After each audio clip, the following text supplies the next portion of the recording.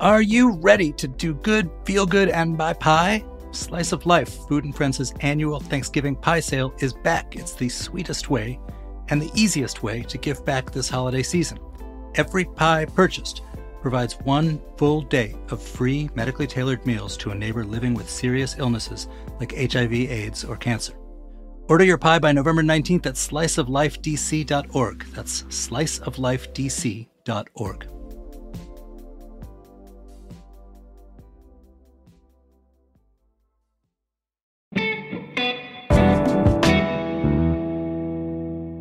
on CityCast DC.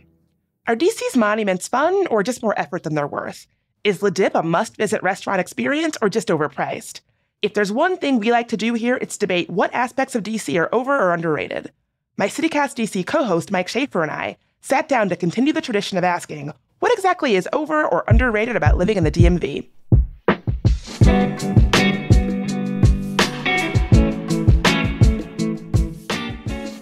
Today's Tuesday, November 12th. I'm Bridget Todd, and here's what DC is talking about.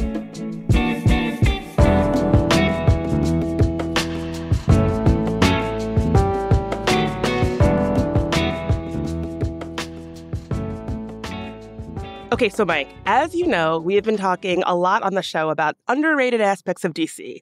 We did underrated restaurants, underrated museums, Underrated CityCast hosts. Yes, both of us. and I think it kind of made me realize, like, in the conversations, someone would say, like, oh, this is so underrated. And I'd be like, oh, I think that's overrated. I feel like one person's underrated if another person's overrated. Yes, exactly. And although we at CityCast exist to help you all find cool stuff, sometimes it's kind of fun to slam not so cool stuff. It's true. In our underrated gems episode, I had to throw in a, a museum, or I guess I'll say like a DC experience that I found very, very overrated. So it's not all peaches and cream and sunshine and light over here. Sometimes we think things are very overrated. But at any rate, you found a bunch of fierce arguments around town between people who think certain things are uh, overrated or underrated or maybe just right. That is correct. So let's start with the obvious. Can you guess where I'm going with this? I think you're going to the National Mall. That's right. The monuments, the mall, all of it. Some people say it's like accurately rated, like it's fine. Some people say that it's completely overrated, which I kind of get. You know, they're crowded, they're hot, there's no shade. It's always way more walking than you think it's going to be, at least if you're me. Yes, and it's at least if you're like seven years old too, which uh, a lot of the visitors seem to be. They're being sort of dragged along behind their parents. Um, the ice cream's kind of expensive, so the parents are annoyed about that. Yeah, I have a very clear memory of being a little kid and going to the monument tour and crying, whining in front of all my classmates because I was so hot and tired. yeah, not a lot of trees. I mean, I think they designed that thing, you know, 120 years ago or whatever it was. Uh, it's a great, amazing stage for like a mass gathering of human beings. But the actual experience of like walking along that strip of uh, green from place to place, you know, the vista is awesome, but it, it can get awfully hot in the summer. And it'd be nice to be walking down a city street at that moment. So, what's the verdict here? That area of DC, overrated, underrated, accurately rated. What do you think?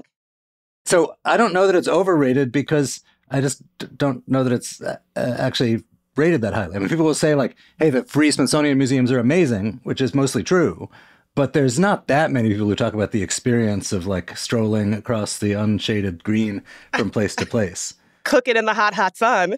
So maybe maybe that area is adequately rated. Nobody's talking about it like they talk about, you know, the interesting iconic spots of other cities, but like maybe it's nice to check out. So maybe maybe the rating there is accurate. We're accurately talking about it.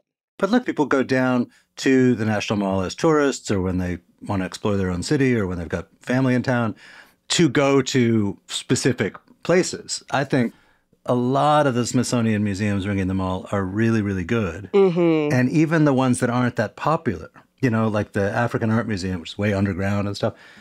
You can go down there if you're if you're at work and you want to take a, a long lunch. You can kind of feel quite alone. It's quite cool in a lot of these spaces.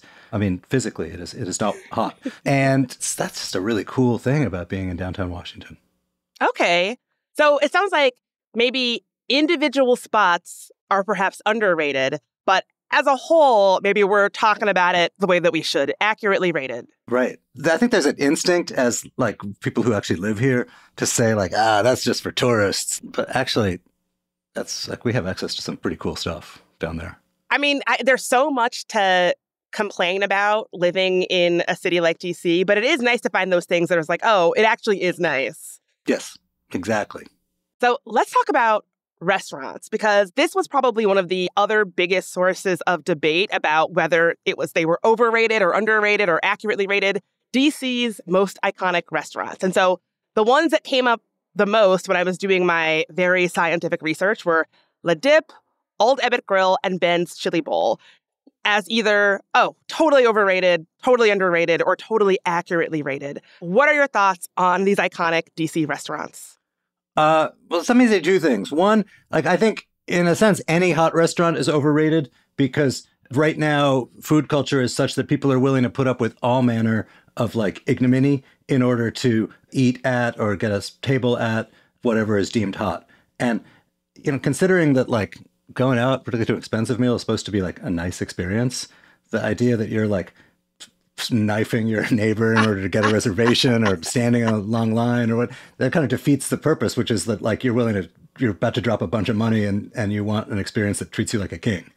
I think of those three you mentioned i think the dip's really good. I think like falderall or about it is a function of like it's kind of weird and a function of like that there's just not that much supply of that sort of place in the district but i think it's really good old ebbitt grill is not really good but I think everyone kind of knows that because it's an iconic place and it's sort of somehow tied to like old Washington national politics. It gets some some people in, which is great. But it's it's more like like a revolving restaurant or something, like a place with an amazing view. They don't have to actually kill it on the food.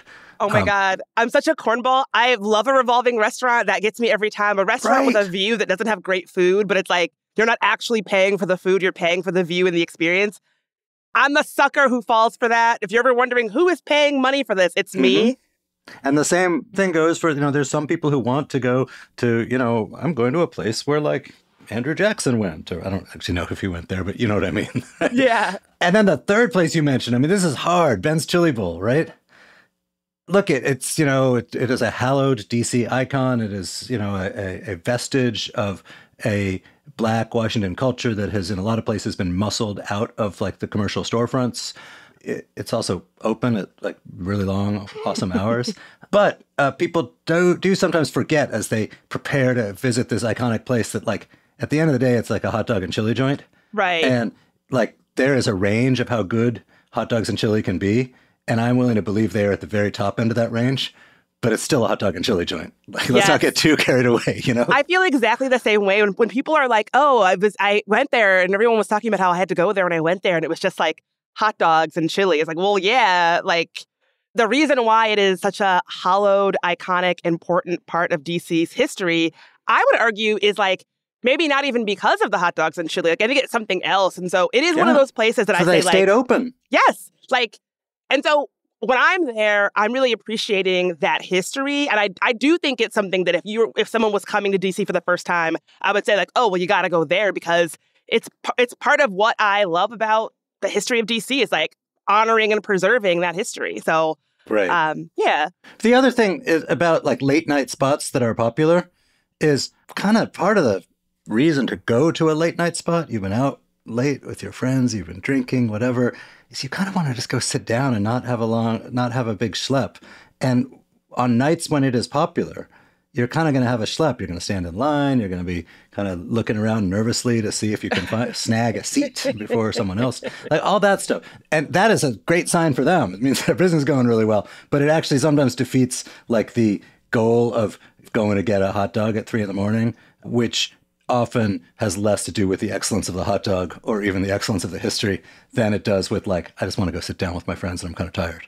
Yes. Oh, that reminds me of another potential overrated underrated thing, food trucks. In the rare occasions where I'm after a night out with friends and I just want to get a, a food item and sit, I often find myself at a food truck and it's like, "Oh, cool, I'm standing in line for like 20 minutes to get my thing that I then have to sit on a curb and eat on my lap. Like, I feel like it's one of those things that once I actually get it, maybe it's not as good as it felt in my head. Yeah, I think there was a moment when like food trucks, there was a, a feeling of authenticity about them because Mhm. you know if you want to start like Bridget's weird food and like what like whatever strange uh, item you want to serve, but it's authentic to you and your creative vision, you can just get a food truck and go. I mean, that's a little bit of an exaggeration, but you don't have to like pony up your life savings for like a lease on a storefront and et cetera.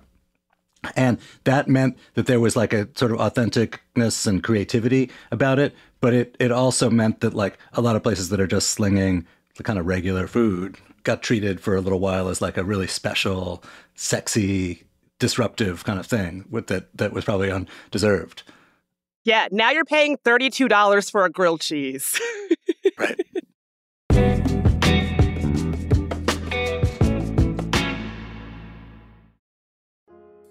Let's be real, lawsuits are not fun. But with Christopher Nace and the trial lawyers at Paulson and Nace, at least they're a little easier. Paulson and Nace is a DC law firm in every sense of the word. It was founded here in 1979. Partner Chris Nace is a local who cares deeply about the DC community, even serving on the board of the local branch of the Living Classrooms Foundation in his free time. Nace and his associates, Samantha Peters, John Reese, and Maya Perry, handle medical malpractice, wrongful death, and other complex injury cases. And they don't just settle every case, they'll go to court, they'll fight for you. Paulson and Nace has even been recognized as one of Best Lawyers' best law firms. So if you have been hurt or lost a loved one because of someone else's mistake or negligence, call Paulson and Nace for a no obligation consultation. Visit www.paulsonandnace.com or call 202 463 1999.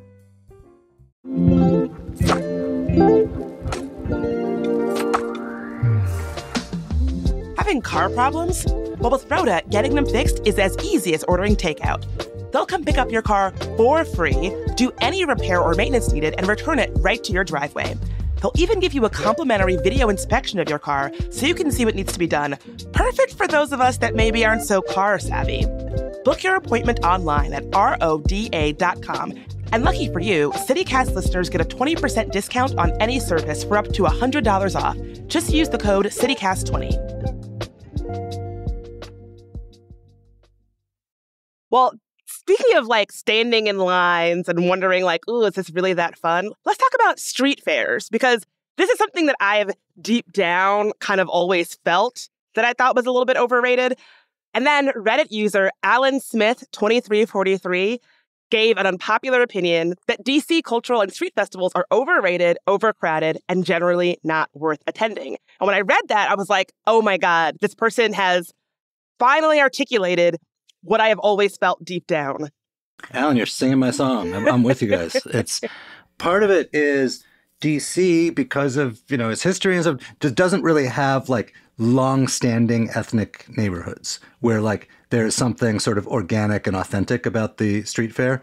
They tend to be imported to wherever they are. There's nothing nothing wrong with this per se, but it does lend a sameness to it. So if you're going to the Caribbean Fest on Georgia Avenue, it might be awesome. It might be not. It might not be. Whatever you think of it, it's not like it is springing from like a vast West Indian population Right. who have lived for a generation or three along those blocks. There are obviously some. This is the capital of the country. There's people from all over, but it means that like someone imported this and then they probably went to like a street fair vendor to like figure out like what combination of booths and public uh, performances and so on they should have and once you start doing that you the range of like excellence or mediocrity it becomes a lot wider And it just means that it's all the same stuff. Like whether you go to the the festival here or someplace else, it doesn't feel necessarily that distinct to me. So all, oftentimes when I go to these festivals or street fairs, I just feel like it's the same stuff,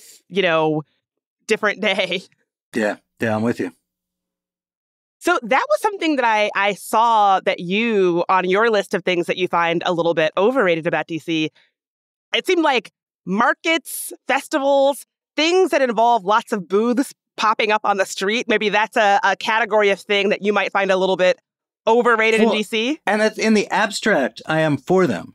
But like if so if you see like a holiday market there's one you know downtown it looks really beautiful from a distance and you see there's people selling like roast peanuts or whatever smells nice but the actual stuff for sale in the booths hmm, you know like it's not on my christmas list i'm glad that these exist and i'm glad there's i'm always glad for like more reasons to like walk around and find curious things on the streets of a, a city but uh if you sort of strip away the nostalgia and the the desire just to be for, in in a vibrant place for its own sake, the actual stuff is usually not that compelling to me.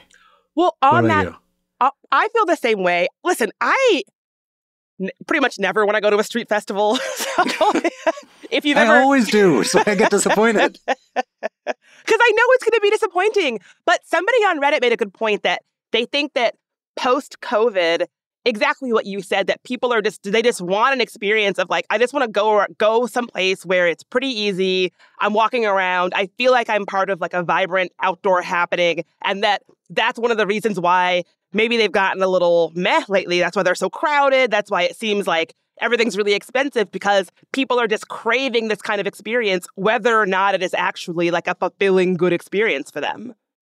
What about you? Do you have a quirky Bridget belief in something that's overrated? Something that's overrated, I would probably say the dynamic, and we've we've talked about this on the show before, Mike, but like the dynamic that sometimes is present in DC where your job is a really big part of your life. Now, you and I both, I think we agreed that like people come to DC because they're passionate about things and yeah. like passion is good. And I completely agree with that. But I just think, you know, I, I was thinking about this earlier. In all the cities that I've lived in, I do think that people are prone to make their career kind of the tent pole of their life. Yeah. And that if, if something happens in their career, then it's like, who am I? What is my identity? Yes, yes, yes. yes I was yes, yes. A, my my whole life was wrapped up in being a congressional staffer, and now I'm not anymore. I think that that is such an overrated way to live your life, and so. Even though I love DC as a city of passionate people who are passionate about what they do, I do think it being a place where it's easy to make your career like central to your life and identity, a little overrated. I but I mean, let me push back on one part of that, which is Please. that there is also like a truism that, you know, one of the worst things about Washington is that people here always ask, what do you do? And that's so terrible. I actually think, like, because of what you said, because a lot of people, for better or worse, they move here for work or work is hugely important to them. I mean, there's a lot of people who live here who weren't born here and they're they didn't come for the weather, you know. So what they do for a living is really important to them, which means like asking about it is like actually, you know, it's it. One of my friends put it this way that it, it's a way of asking how'd you get here, mm-hmm. and that is like most people that's their life journey, and they're going to tell you about it. Now, obviously, there's a gap between asking what do you do and then the moment of like silent judgment about whether this person is important enough to keep talking to, which is, you know, a very bad thing. Don't do that, people. Let me tell but, you, like, as a actually, podcaster, like I'm never important enough to keep talking to. uh, well, for me, you are. Thank uh, you. Um, but like, I think that the the condemnation of asking that question is is a little bit overdone. I, I think I think uh, it, it is an underrated question to ask. Oh, so that's on your underrated list. Yeah. I, I'm with you. I, I always thought that that kind of gets a bad rap. And I, I really like what your friend said that like it's it's asking about how you got here, like why are you in DC? You know, I, I really like that. I think that's true. You think that pocket parks are underrated? I do. Uh, I think that. And shout out to our executive producer, Priyanka, who also thinks that. I have a pocket park right across the street. And I don't know, it's just, you don't, it's easy to take for granted how much green spaces, even if they are small, really change the dynamic of a block the only place I would dissent from that is I don't know that these are underrated. I think that that anybody who lives like you know I live in Northwest and there's like a lot of triangle parks like in the backyard mm-hmm. where like you know where there's like a avenue that that bisects the grid and some some places it means that the area behind houses there is a weird triangle of, of alleys and anyone who's got one of those is like ferociously devoted to it and can't talk enough about its joys. And I, I think when you are in the downtown parts of or part of the parts of the city with more of a clear grid, you every now and then will stumble upon these like street facing pocket parks, and they're lovely. but I don't know anyone who doesn't like them. So I, I think by calling them underrated, you're pushing back on a negative perception that doesn't exist. okay, so I actually I think that if you have a pocket park or a triangle park or like a tiny piece of green space near you, you love it. It makes it it brightens your day. I think there are plenty of people who have like never thought about it like that, and they're like, "Oh, this park's so tiny. Like, what difference does it make?" And so, yeah, you're probably right that for people who have them in their lives, they are singing their praises all the time. But I do think there are people who've maybe never thought about it because maybe they don't have them in their life or they they live near Rock Creek Park. And so like this tiny little triangle of green space is, you know, who cares about that? Here's one thing I think is underrated or or people take incorrect pleasure in uh, beating up on is old school like expense account steakhouses you know, people will say like, "Oh, it used to be that the local food scene was nothing but these expense account steakhouses for you know lobbyists and stuff, and now we've got all this creative eating." Totally true, but don't sleep on those expensive account steakhouses. If you go to one, they kiss your butt. Oh my god, and yes. You don't feel like a dummy if if you don't know something on the menu, and there's not a like a oh I better defer to the chef because like he's like a great artiste uh, kind of vibe. And sometimes that's a nice feeling, especially if you're dropping that kind of money.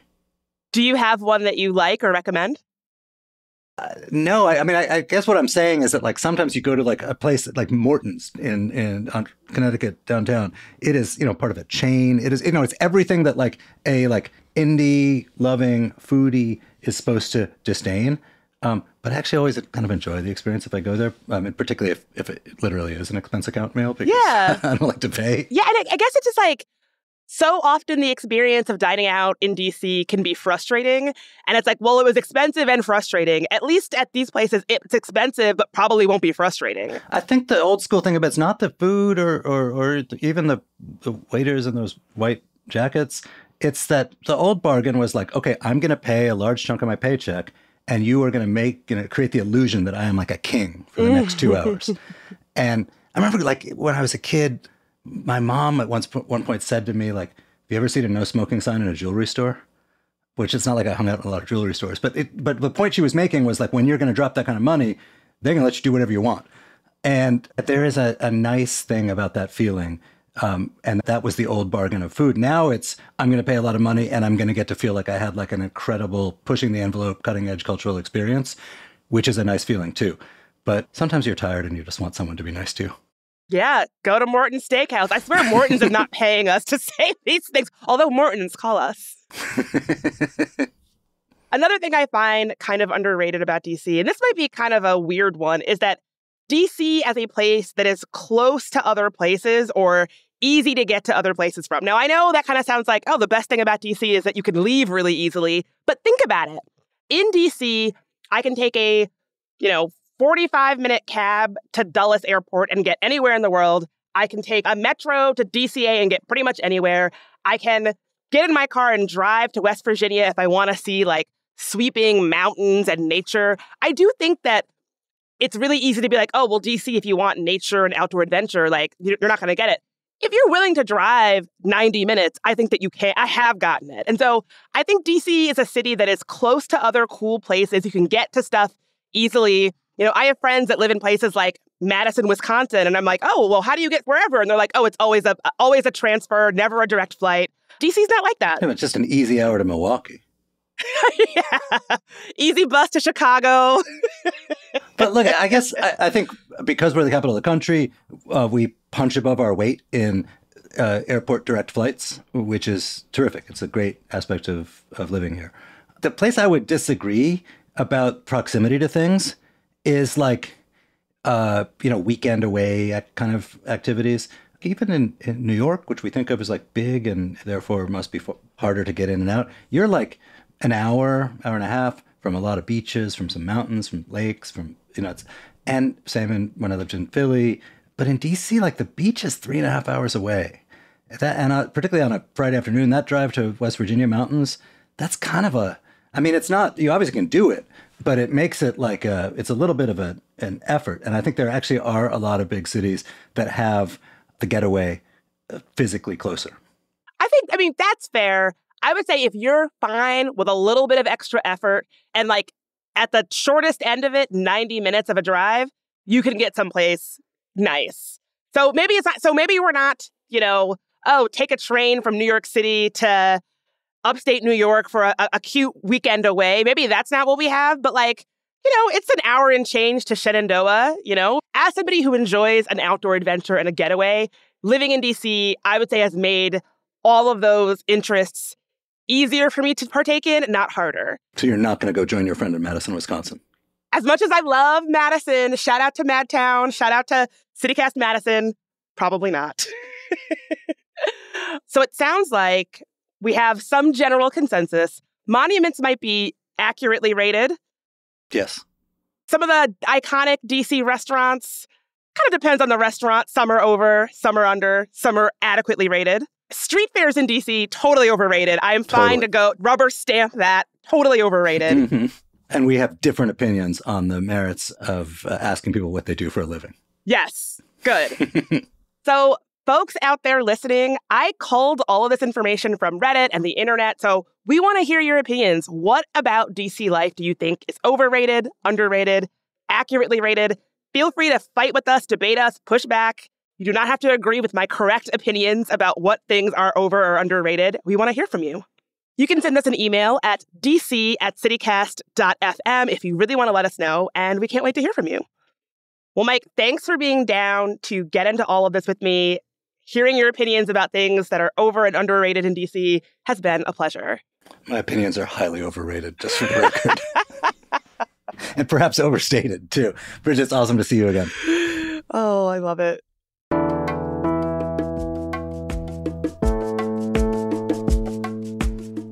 That's all for today here on CityCast DC. If you enjoyed the show, share it with a friend that thinks the monuments are overrated. Leave us a review, rate the show, and subscribe to our morning newsletter. We'll be back tomorrow morning with even more news from around the city. Talk to you then.